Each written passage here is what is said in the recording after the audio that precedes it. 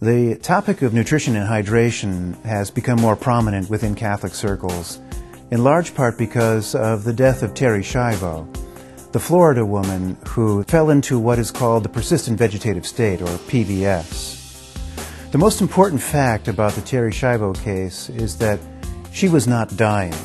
She was in a stable medical condition. She died of a lack of food and water, which was taken away from her.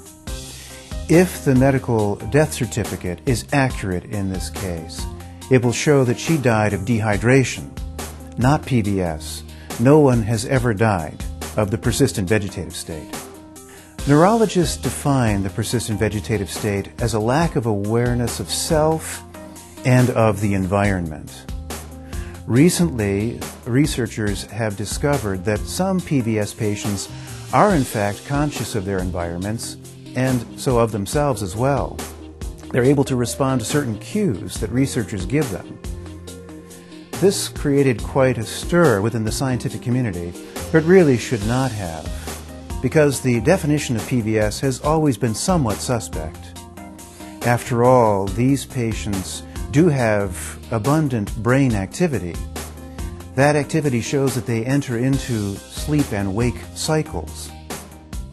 If you ask the neurologist who it is that is falling asleep and who it is that is waking up, by definition they have to answer no one. The definition of PVS depends on the premise that I, the scientist, can know that you, the patient, are not having any conscious experience. That's a very difficult judgment to make, especially in the face of abundant brain activity. Patients who suffer a mental disability should not be deprived of food and water simply because others think they have a poor quality of life. The case of Terri Schiavo was a case of euthanasia by omission. She died because something which could have been easily provided to her was taken away, and in fact it had been provided to her for quite some time before it was removed. There is a difference between treatment and care. A treatment is some medical procedure which cures or alleviates a disease. Food and water do not cure any disease. They are part of the ordinary sustenance that is deserved by every human being and ought to be provided to all.